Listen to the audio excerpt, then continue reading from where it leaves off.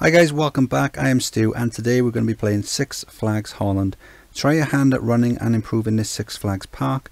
Your objective to have at least 3,500 guests in your park at the end of October year 4 with a park rating of at least 600. Fairly straightforward then. We've already got 1,300 guests in the park so we only need another 2,200 to complete it and we've got 4 years to do it.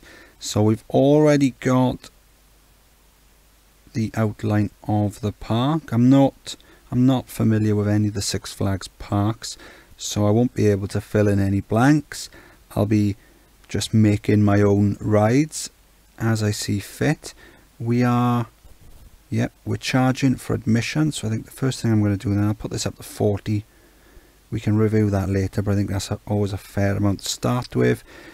An issue that we've had in the other Six Flags parks is the pathing it's very complicated um, for a game like this where the AI isn't very clever.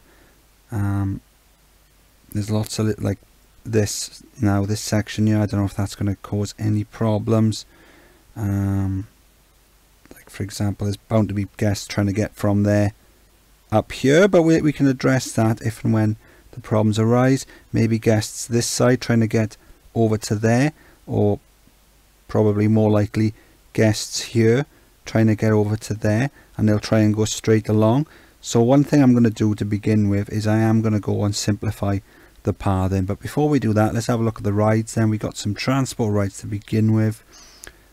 Loads of gentle rides. Loads of coasters. Loads of thrill rides. Loads of water rides. Plenty of shops we got a cash point. That'll be handy. Um, okay so I think what we'll do for research is we'll just put the research onto maximum and we'll leave it as it is because there's nothing really that I, I need. We've got more than what we could probably use. We could probably switch research off but um, we'll just see what unlocks. So as I said the first thing I'm going to do then is I'm going to sort out some of the pathing. Like for example these bits that are sticking out there I'm going to get rid of that straighten some of the bits off um, maybe connect some areas which aren't connected. Like for example just next to that burger stall I can run a path up to this section there. That way it'll stop guests getting lost at that section. Um, another thing that I did on the other Six Flags parks which made me a lot of money was merchandising the existing rides. So for example after these roller coasters on the exits I'll put a load of balloon stalls hat stalls t-shirt stalls etc do I'll, I'll I'll put them to the same color as the rides. I mean it doesn't really make any difference to the guests but um, I like the way that um, it's color coordinated and um, that'll make me a load of cash as well. Maybe extend some of the paths and separate the exits from the paths as well. So what I'll do is, is just a quick tidy up. Um, there is a nice space either side of the entrance here for some for some cheap and cheerful rides. So I think what we'll do we'll tidy up spam some shops and see if we can start the ball rolling on shop sales. It is July year one so I've put down loads of merchandise shops then. Um, I've sorted out some of the paths and I've built some cheap and cheerful. So this is my loops design as a tutorial in the tutorial section for this. And I've got it on the looping coaster and I've also got the same thing on the Giga coaster as well. It's exactly the same design. Um, the only difference is because this hasn't got a launch mode, I've set it on continuous circuit mode and I've set the number of circuits to three. So what will happen is it'll go up, it'll come back through the station at the back and then it'll do that a few times as well. So just waiting for it to to go. It's a little slow but that's fine. The queue's big enough.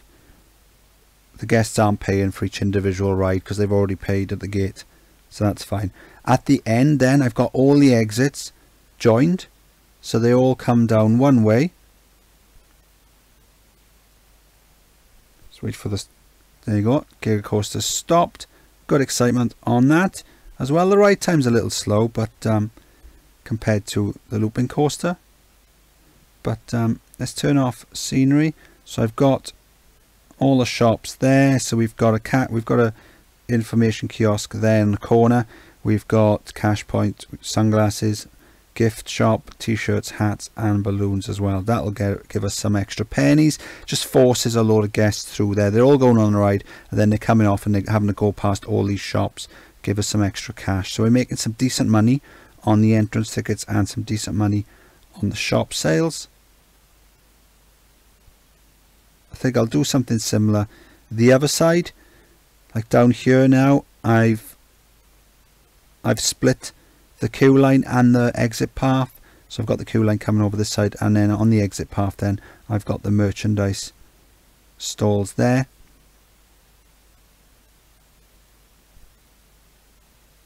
I haven't done this one. I'll have to do that one.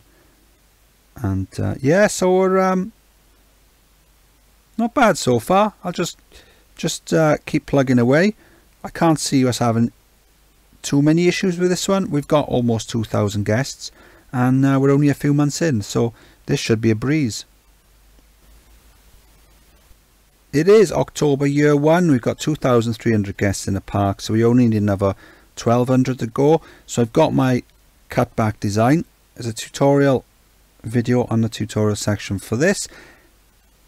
The, that video though it is on a corkscrew with powered launch but you can use it with any coaster that can do the corkscrew element. This one I've set to two circuits. So because this one's got like a reverse section so it takes it up backwards then it lets it go then it comes back.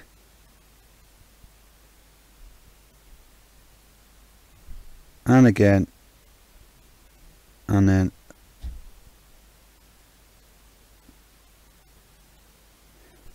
Now the beauty of this even though it doesn't go through the photo section the guests can still buy a photo as well. So I'm not sure why that one is oh there you go. I haven't synchronized them. Silly me don't know how long they've been waiting there. So running on fast forward just to sort them out. I've done the same thing as the loops coasters.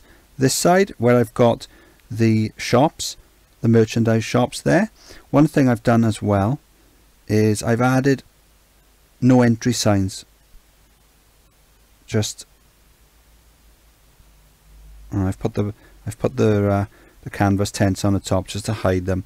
But I've got no entry signs after each and every shop. What was happening was the guests were going to a shop buying something and then they'd come back and then they think about what they're going to do then. They think about where they're going to go. So what they were trying to do is they were trying to go to this coaster over here and they were walking backwards. So they were walking back up here and they were getting stuck. So now I've added the no entry signs if they buy something they have to go forward. They can buy something else but then they have to go forward. And each time they either make it they either stop and buy something from the shop or make a decision or they keep going forward. But regardless they always end up having to come out of the queue line. So we're making some good money again from the park entrance sales making over 4,000 from the shop sales. So we're getting to the point now where we can we can um, stop building cheap and cheerful coasters we can actually blow some big money on some cool coasters it is June year two and I have blown some money on Hyper Twister.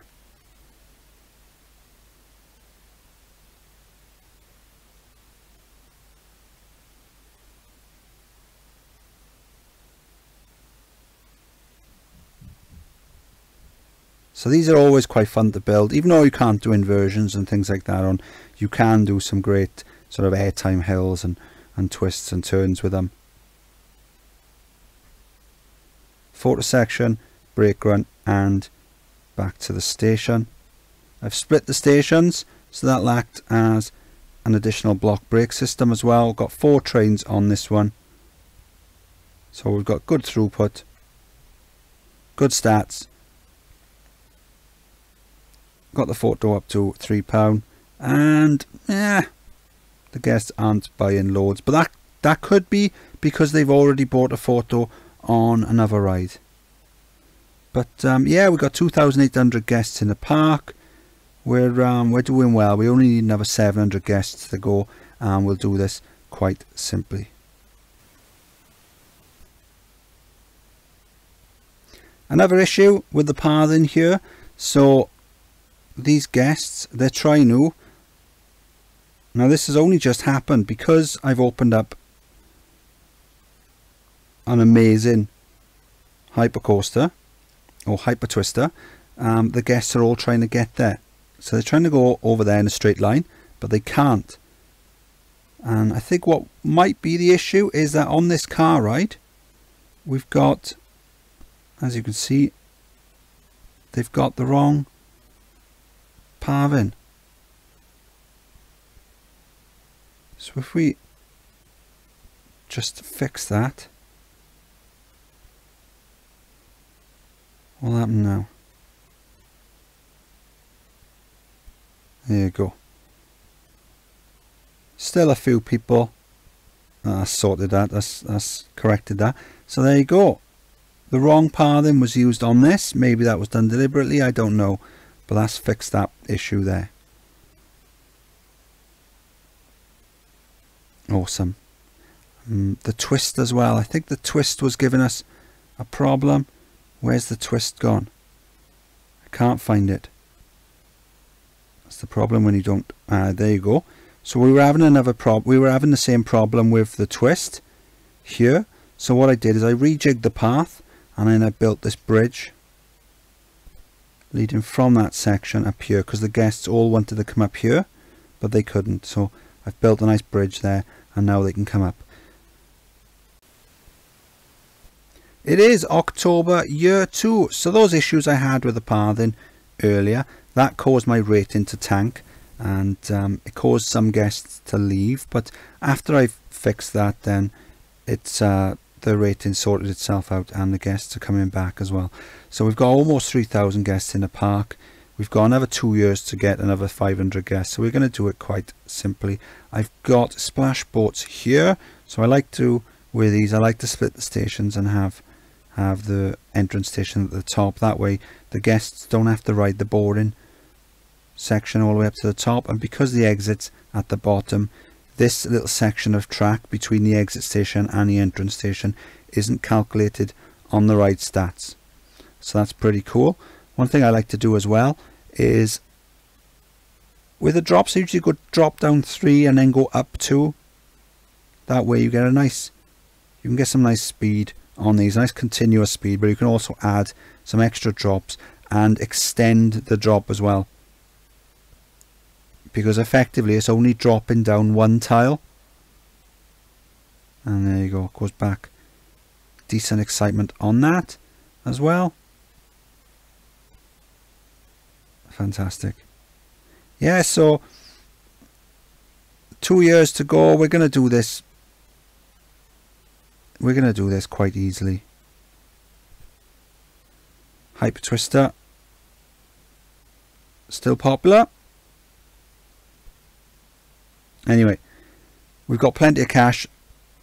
Let's go and blow it on something ridiculous. It is October year three. We've got over the target. The target, the scenario wants 3,500 guests. We've got just under 3,600. So we've got a Giga coaster here with a booster launch. So we can follow this now.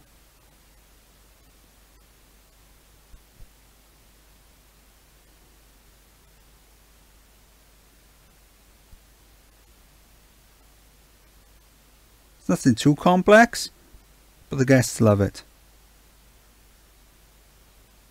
And then just over this side then, the orange one, I've built a floorless coaster. Again, I've split the stations. That acts as an extra block section and uh, helps throughput because you've got one train unloading, one train loading as well. There you go. So I've got at the top then for a block brake such as enables another train to enter the section. Two large loops. Large cobra roll. Barrel roll. Turn around through the photo section up brake section and back down. Good stats on that, guests loving it. Right, so we've got another year to go. I'm not really having any issues. Uh, we've already done the the target. We've already done the scenario. Um, so I think what I'm going to do now is I'm just going to fast forward it through the final year. Um, I'm going to do some little things like hiring handymen and and um, sorting out like the sick and things like that on the paths.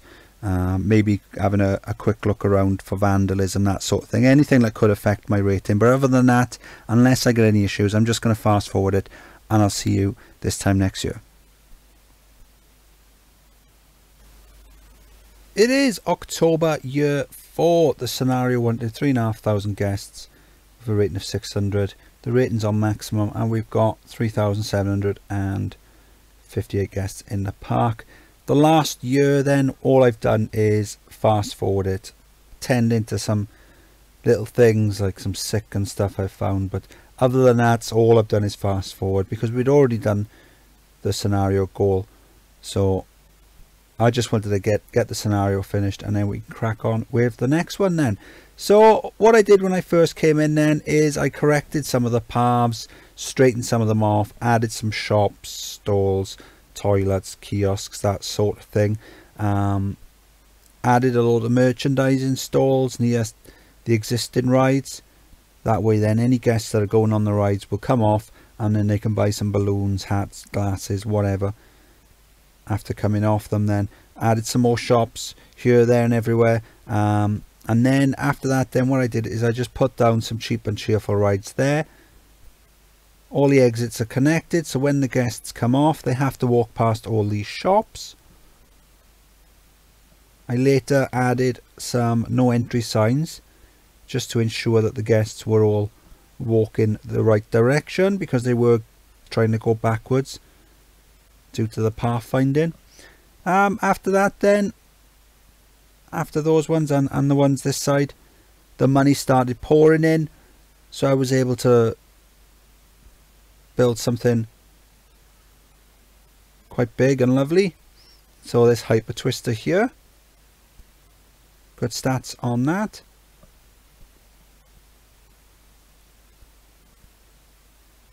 And then this Giga coaster just here. It's broken down. Typical. good good stats on this one. No, we did see it earlier. We can have a quick look at it later when it's uh, when it's fixed. Um, I spammed some some flat rides as well whilst we're going through it just to just to help get the guests the guests ticking over. Um, and then just up here then we've got a splash boats and a floorless coaster. Good stats on these great capacity as well so these really help get the guests off the park, get the guests off the paths.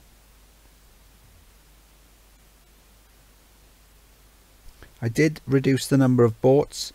I think when it started it had about 25 boats on it, so I reduced it down. I think it was a 15. Yeah, cause when it um, when it started, the first boat was at the top, and I like to set them on full load so let's have a look at the settings for that. There you go. Full load. I have got a maximum waiting time just to just in case it starts to rain or something and, and people don't join the queues that the people on there aren't stuck.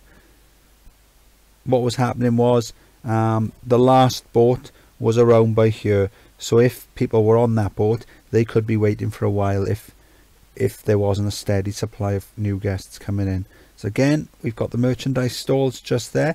We were making loads of money off them. We're still making good money now. Every month, three, four thousand, something like that. Ticket sales have, have dwindled now. That's because I haven't really built anything for the last year or so. Um, so guests haven't really got much of an incentive to come in. Got loads of cash points around the parks. It's always good to to um, retain the guests that you've got as well. This is one of the pre-built log flumes. You can't you can't edit these, which is a shame. But um, cause I would like to split the stations and things, but yeah, fairly fairly simple scenario really. Um, we had some issues with the pathing causing guests to get lost and stuck and at one point that did affect my rating but we managed to catch it fairly fairly quickly I think the worst one was just over here the pathing um, for the exit and the entrance was the wrong way round so after I built the roller coaster the hyper coaster hyper twister coaster because it was so amazing um, because I am such such an amazing and yet modest coaster builder. Um, the guests were all trying to get over that side, but um, they couldn't because obviously they were just getting stuck there. So I've swapped the paths around, added a no entry sign, and that sorted it out. There are still some just wandering around aimlessly. So I could probably fix that. Now we've got we've got plenty of time. I could if I add that there and add that there get rid of that delete that. Add that. That should fix it. They are still wandering around. It could be these these lampposts and things.